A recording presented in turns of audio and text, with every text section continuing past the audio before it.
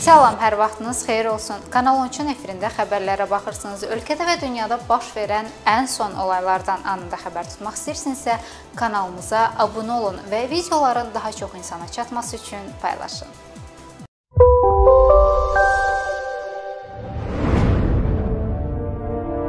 Sabah Bakının küçə və prospektləri növbəti dəfə dezinfeksiya ediləcək. Son vaxtlarda ölkədə koronavirus pandemiyasına yoluxanların sayında kəskin artım müşahidə edildiyindən vətəndaşlarımızın bu xəstəlikdən qorunması və onun geniş yayılmasının qarşısının alınması məqsədi ilə paytaxt Bakı şəhərində kompleks tədbirlər həyata keçirilir. Bu barədə Bakı şəhər icra hakimiyyətinin mətbuat xidmətindən məlumat verilib. Bildirilib ki, bu tədbirlər çərçivəsində sabah avqust ayının 28-i səhər saatlarından etibarən şəhərin mərkəzi mərkəzi və qəsəbələrdəki əsas küçə, prospekt və yollarda xüsusi kimyəvi maddələrlə növbəti dəfə əlavə gücləndirilmiş dezinfeksiya işləri aparılacaq. Bununla əlaqədar maddələrin qəbul olunmuş müəyyən toksikliyini nəzərə alaraq sakinlərdən ciddi zərurət yaranmadığı təqdirdə qeyd olunan tarixdə küçəyə çıxmamaq xahiş olunub deyə məlumatda bildirilib.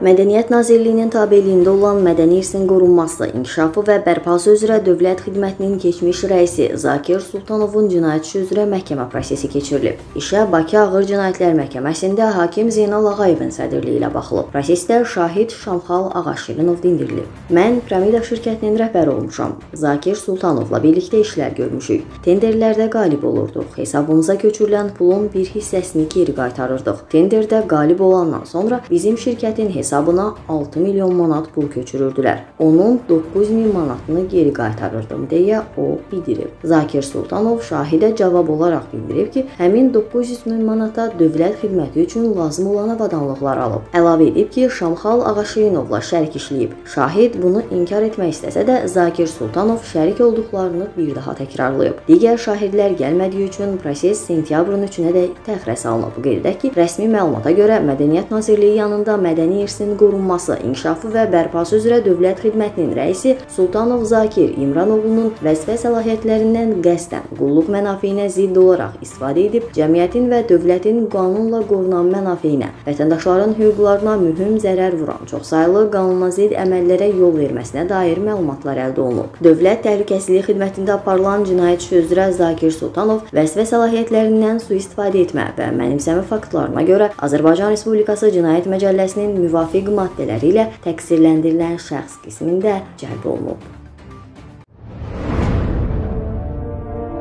Daxili İşlər orqanlarının əməkdaşları işğaldan azad edilmiş, lakin minalardan və digər partlayıcı maddələrdən tam təmizlənməmiş ərazilərə müvafiq icazə olmadan nəzarət postlarından kənar yollarla keçməyə cəhd göstərən şəxslərin qarşısının alınması istiqamətində tədbirləri davam etdirir. Daxili İşlər Nazirliyinin mətbuat xidmətindən verilən məlumata görə avqustun 23-də Kəlbəcər rayon polis şöbəsinin əməkdaşları işğaldan azad edilmiş ərazilərə qanunsuz daxil olmaq istəyən Bəhrəm Əhmədli, Rəfi Mamedov, Qabil Əhmədov, Ceyhun Məmmədov və Əjdər Əhmədovu saxlayıb. Onlar polis şöbəsinə dəvət olunub. Profilaktiki söhbətlər aparılaraq mina və partlayıcı vasitələrin onların həyatı üçün təhlükə doğura biləcəyi barədə xəbərdarlıq edilib. Həmin şəxslər barəsində inzibati tənbih tədbiri tətbiq edilərək baxılması üçün rayon məhkəməsinə göndərilib.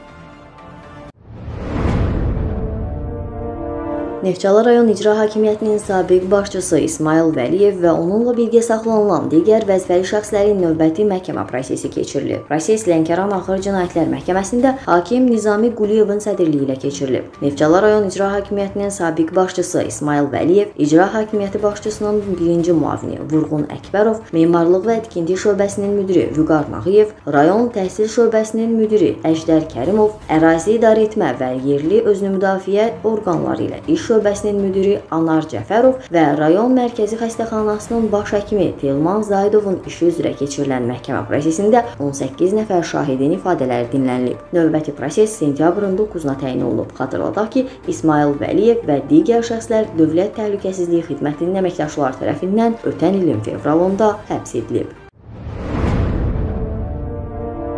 Balakən rayon polis şöbəsinin əməkdaşları tərəfindən narkotik vasitələrin qanunsuz dövriyyəsi və narkotik tərkibli bitkilərin kultivasiyasına qarşı növbəti əməliyyat keçirilib. Daxili İşlər Nazirliyinin mətbuat xidmətindən verilən məlumata görə rayonun Qazbinə kəndi yaxınlığında yerləşən dağların ətəyində çətinək yollarının əkib becərilməsi barədə polisə məlumat daxil olub. Ərazi dərhal əməliyyat nəzarətinə götürülüb və keçirilmiş tədbirlər nəticəsində orada narkotik becərən şəxsin Şəki şəhər sakini əvvəllər də analoji cinayət əməlinə görə məhkum olunmuş Kamal Hüseynov olduğu müəyyən edilib. O, çətinək yollarına qulluq edərkən polis əməkdaşları tərəfindən iş başında yaxalanıb və şübhəli şəxs qismində saxlanılıb. Əraziyə baxış zamanı oradan aqrotexniki qulluq göstərilmiş. Ümumi çəkisi 213 kiloqramdan artıq olan 1103 ədəd narkotik tərkibli bitkilər aşkar edilərək maddi sübut kimi götürülüb. Hüseynov ifadəsində çətinək yollarını 3 ay bundan öncə Şəki şəhərindən gələrək burada becərdiyini və vaxtaşırı qulluq göstərdiyini göstərdiyini, məqsədinin isə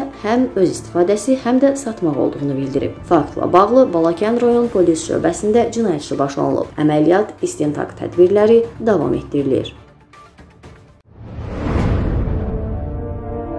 Əfqanistanın paytaxtı Kabil şəhərində baş vermiş partlayışlar nəticəsində ölənlərin sayı 110 nəfərə yüksəlib. Bu barədə Əl-Cəzairə məlumat yayıb. Bildirilib ki, dünən Kabildə silsilə partlayışlar baş verib. Terror aktına görə məsuliyyəti IŞİD öz üzərinə götürüb. Qeyd edək ki, Pakistan hərbçiləri Əfqanistan-Pakistan sərhədini qanunsuz keçməyə cəhd göstərən 3 Əfqanistan vətəndaşını öldürüb. Məlumata görə 5 nəfər isə yaralanıb.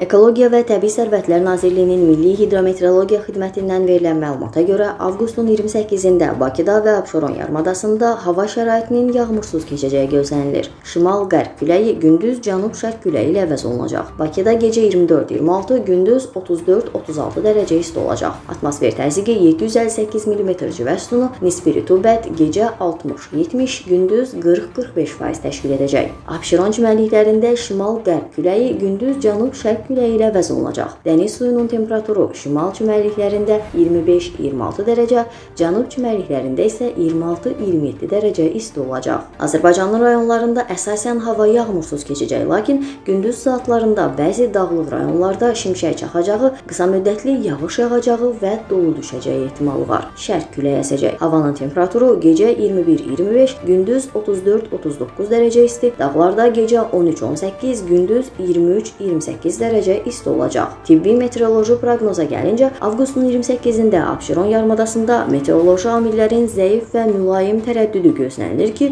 bu da meteohəssas insanlar üçün əsasən əlverişlidir. Bax belə bu günlük və bu saatlıq bizdən bu qədər. Görüşmək ümidi ilə hələlik.